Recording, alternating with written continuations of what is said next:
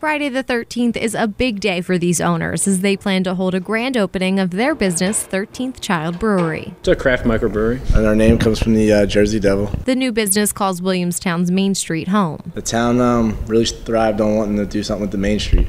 So when we uh, approached the town, they were like, fully supportive. With eight brews on tap and ready to be poured, they've already had a great reaction from the public. We've only been open six weeks and we have more regulars than we have new customers, and they're just continuing to help us thrive. And after all the work they've put in, the owners are excited to see it thriving already. It's just been blood, sweat, and tears. It's a lot of work. Yeah. And just so to see it now is definitely makes it worth it seeing the crowds that we have. The three man team that make up the owners didn't have an easy road. I think the biggest reason it took us so long to even open was the uh, financing, trying to get everything together.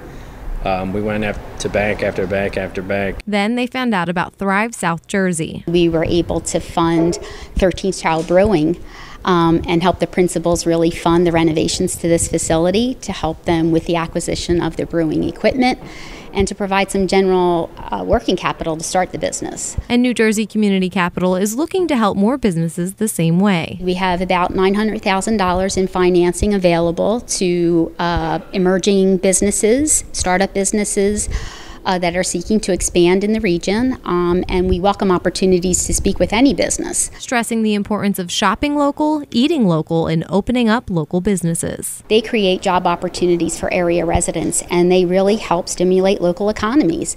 And with that, um, they really help strengthen neighborhoods. Everybody's promoting local, not just us, but other businesses around. So it just helps the town thrive. So it's just a plus for everybody. Boosting the local economy one pour at a time.